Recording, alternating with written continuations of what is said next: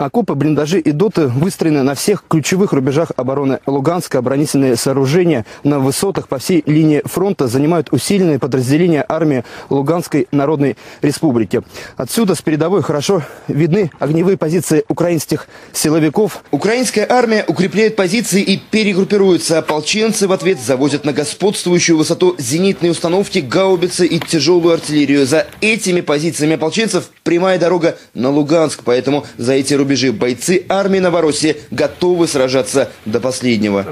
Ну, Это все украинское, все, все вооружение украинской армии. Мы здесь захватили большие склады, около 30 тонн а, боеприпасов, а, патроны, вооружение, много танков, а, ГРАД-систему, БМП, БТР. Часть вы могли видеть, сожженная здесь стояла. А, Ну, в общем, мой отряд вот полностью снабжается только, как говорится, вооружением украинской армии. В недавно освобожденном городе Лутугина ополченцы проводят ревизию трофейного арсенала. При отступлении украинские военные так торопились, что оставили установку «Град», тонны боеприпасов, два танка и четыре БМП. Нормальная машина, ну просто надо тут тормоза подделать такое в основном.